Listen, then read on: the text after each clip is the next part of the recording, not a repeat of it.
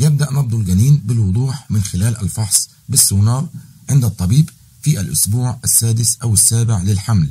وقد يحدث أن يتوقف نبض الجنين لأسباب غير معروفة أثناء الشهور الثلاثة الأولى من الحمل.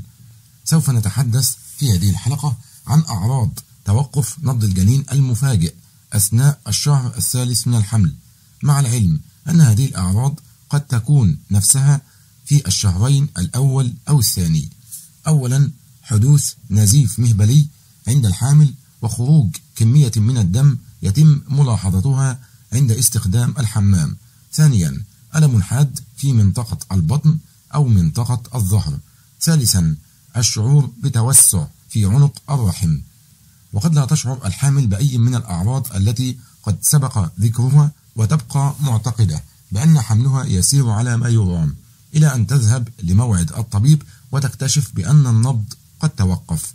أما الأسباب التي قد تؤدي إلى توقف نبض الجنين ثم وفاته فهي أولا ارتفاع ضغط الدم المستمر عند الحامل.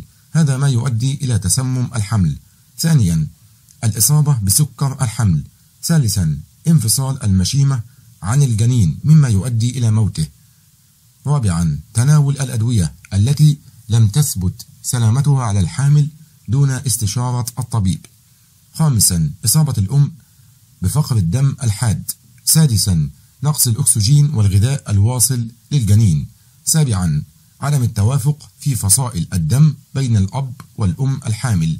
أخيرا إصابة الحامل بالتهابات قوية في الرحم وبعد التأكد من توقف نبض الجنين في الشهر الثالث ينتظر الطبيب حتى يتم نزول الجنين تلقائيا.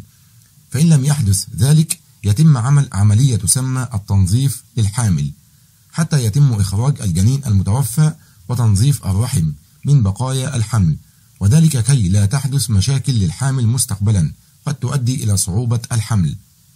وقد يقوم الطبيب بعمل تحريض للولادة لتتمكن السيدة من ولادة الجنين.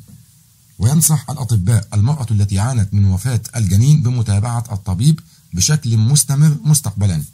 للتأكد من سلامتها واستعدادها للحمل مرة أخرى. كما يجب أن يتأكد الطبيب من خلو الأم من أية أمراض قد تؤدي إلى وفاة الجنين في المرات القادمة ولمعالجة الأمر قبل أن تصبح السيدة حامل مجددا.